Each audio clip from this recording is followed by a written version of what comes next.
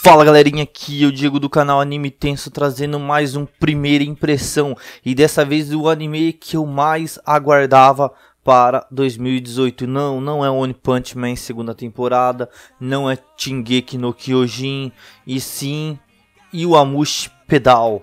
Sim, esse anime que eu gosto muito, deveras demais. Realmente eu curti muito o Multipedal e eu assisto desde a primeira temporada assim seguido.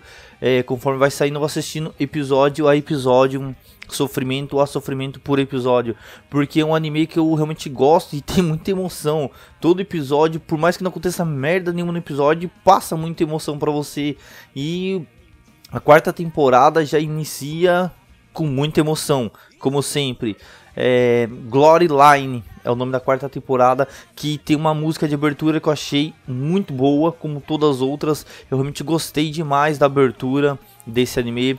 E ele já, como ele já entra no primeiro episódio, já, tamo, já estamos na, na, na porcaria do. Como que é o nome da competição lá?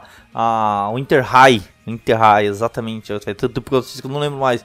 Porque no Japão tem os High em tudo que é tipo de esporte, né? São competições é, entre escolas nos mais variados esportes, como Yamushi Pedal, um anime de bicicletas, tem o Inter High, que é o campeonato de bicicletas lá, onde os maiores caras, picas da galáxia, os caras que pedalam, que até fogo do chão, pedalam para disputar e quem vence é considerado a escola com os melhores caras do mundo da do Japão. E bem, é basicamente isso. Como vimos nas outras temporadas, o Soroku conseguiu ganhar dos reis do pedal, que é a escola Hakone. E bem, agora a Hakone está de volta ativa para voltar fumegando e já mostra todo esse potencial no final da terceira temporada, onde eles já vêm destruindo.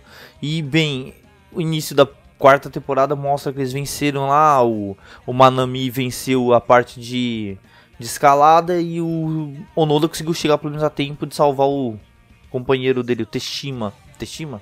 É, Teshima. Eu lembro, acabei de assistir já não tô meio confundindo. Faz muito tempo que eu não lembro direito os nomes. Mas realmente é um anime muito bom. Mas recomendo só você assistir se você já tiver acompanhado as outras três temporadas. Caso não, nem compensa assistir. Porque esse não é um anime novo e sim uma continuação. Eu fico muito empolgado porque eu gosto muito do anime. Vai ser mais um anime de que eu vou acompanhar episódio a episódio com muito sofrimento. Porque é um anime que traz muito sofrimento. Porque todo episódio tem muita emoção. A emoção saindo pelas tampas. Gosto muito.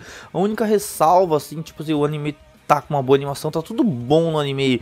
Eu não gostei da Indie, eu achei a Indie meio não a, nem tanta música, mas aquele bagulho de bandinha lá, os personagens tocando uma bandinha. Eu achei que é muito nada a ver com a proposta do anime, muito negócio que não tem nada a ver. Eu sei que animes tem isso de colocar os personagens de animes em outras coisas, mas bandinha assim meio colegial, eu achei que não tinha muito a ver com os personagens do anime.